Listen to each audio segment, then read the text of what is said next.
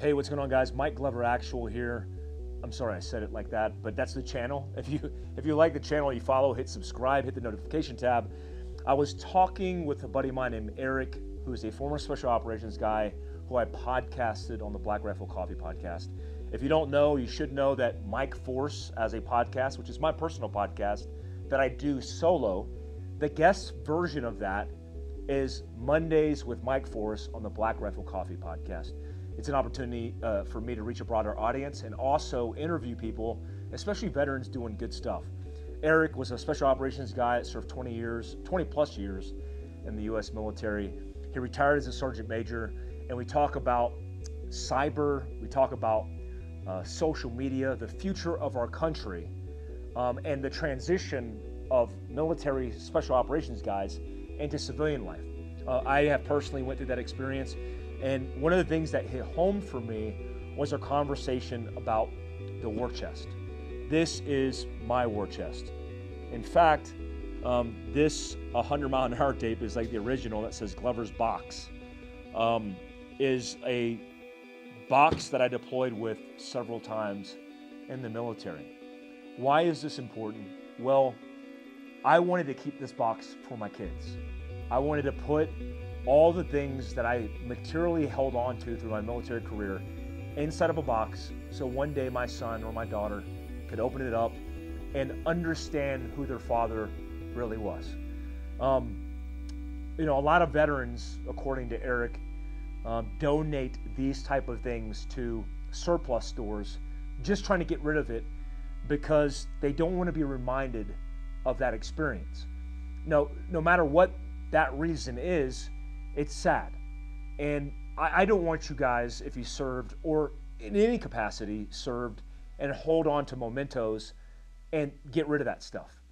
I, I want you to hold on to that stuff because it's cool to recount experiences based on opening that up and going through things to reminisce and bring back memories, sometimes even bad memories.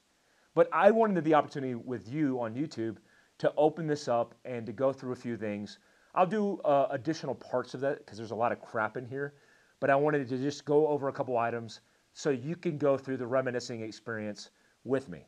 Now, I haven't opened this in probably two years.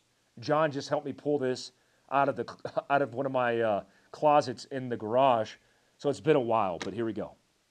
Um, it smells like uh, smells like service. Um, already, I already know what this is. So this is a Iraqi uniform that I'm gonna. I'm actually gonna donate. I, I forgot I had this, but I'm gonna donate this to Eagles and Angels, who takes old uniforms, converts them into uh, hats, different wallets, and different things. So you guys could be part of this experience. But oh yeah, it smells like me. That's definitely me. Um, I wore this. This is an Iraqi counterterrorism uniform I believe based off the Lithuanian uniform um, that we wore in combat. And we really didn't wear these a lot, but I wore this on a hostage rescue that we did in Najaf in 2008. We had a an operation. Actually, is there a no? Not this pair of pants. I might have put a hole in that one. Um, we we had an operation where we did a hostage rescue. There were some British hostages being held, and they would only let Iraqi commandos go into the area so we had to wear these and ski mask and pretend like we are Iraqi because they look like us. Iraqi counterterrorism force guys look like us, they operate like us, and they're amazing human beings. They are the reason why ISIS doesn't exist in Iraq, by the way. They did the hard fighting in Mosul. Um, yeah, big shout out to ICTF. Um, a lot of my buddies um, from the ICTF came over to America, and this is one of the uniforms. Um, oh, look at this old helmet. Um, this is an old helmet. Um, this is one of the ones I wore as a breacher in the Commander's In-Extremis Force. It's got, um, I put this Velcro on there with glue, I think shoe glue, um, some glint tape. This was for goggles. Um, if you're going to do aircraft um, on an MH60, you wanted to have goggles on back then. That was for an Arcos camera, a crappy Arcos camera. this tape was breacher tape just electrical tape that I used to pull off. I used to keep it on my helmet to be able to pull off quickly because depending on the breacher equipment we had, the charges that we used, we might need to reinforce it depending on the material we are sticking it on. I think this is before we had um, the sticky, gooey stuff that you see with explosive charges today. Uh, I, mean, look at that mount. Uh, that's an old mount. But yeah, man, pretty cool seeing this old helmet here. Um, what else we got in here? Oh, look at this guy. Huh. A little clock. Um, rewind the hands of time of memory. Good old Mokhtar Al Sadr and his old man. Um, I do remember this. There was a target in 2006, which is kind of the height of the Makta uh, al Mahdi army. Mokhtar al Sadr um, and the Mahdi militia were uh, Shia, and they were fighting a war against the Sunnis post us transitioning in that war from kind of occupation to targeting insurgency. In 2006, at the height of it, we were in Sadr City in 06 and 07 almost every other night. And it was a bad place to be. These guys were supported by uh, Iranian support, which included EFPs, for uh, uh, uh, shaped charges, basically, that were IEDs that were killing soldiers on the battlefield. So they became the targets. I pulled this out of a house on one of the last targets that we hit in Sadr City. And if it belongs to you and you're in Sadr City, go ahead and uh, hit me up on email or leave a comment below and we'll make sure we get this mail back to you. Um, man, that brings back some memories. Ah, timeless. get it? Timeless? We'll do one more item. Oh, yeah.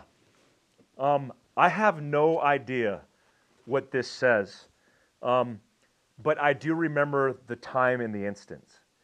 I think this is a Mahdi militia insurgency flag because in 08, in Sadr City, in a hellacious gunfight, I wanted to have something to take with me because I knew I was going to another AO or area of operation, and I wanted to have something to remember uh, that experience by. And everybody had talked about the green flag is the Mahdi militia flag.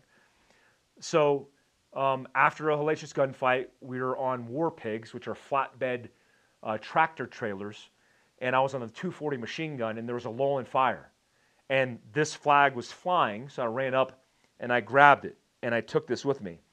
And I thought it was a Mahdi militia flag, and some dude actually told me it was like a shawarma flag for selling shawarma, which is like uh, selling uh, tacos at a taco stand. It was like buy two, get one free. Um, I don't know if that's true, but if you know what this means, and this is actually Mahdi Militia, leave your comments below. You can look it up online. But I remember grabbing this and sticking it in my kit uh, during an operation. Um, it's called war booty back in the days, um, uh, but a lot of guys have those experiences. Oh, let me pull this out because um, I, I actually talked about this on my Patreon account. Um, I do premiere content in my Patreon. I had to wear this for a specific mission, a low vis mission. Uh, we talked about this in uh, the, the experience. You can see that link down below. It's Mike Glover is my Patreon, um, but you can see this below. It's kind of cool that I'm seeing this because we call these man jams, uh, and every Friday we used to wear these around the fire base, depending on what we're doing. But I actually got to use these in a low vis operation because supposedly I look like an Afghan fighter from Nuristan. No big deal. Um, last but not least, let me just pull this out because I do want to say shout out to the guys of 2nd Battalion Bush Hogs, 3rd Special Forces Group. 2nd Battalion was the battalion I was in, both Charlie Company and Bravo Company. If you heard me do the Michelle Black podcast on Black Rifle Coffee podcast, the wife of Bryan Black, who was killed in Niger, Africa, with three other men from 3rd Special Forces Group, this is that battalion. That was ACO. I was in both BCO and CCO of 2nd Battalion when I went into this battalion, their motto was, We do bad things to bad people.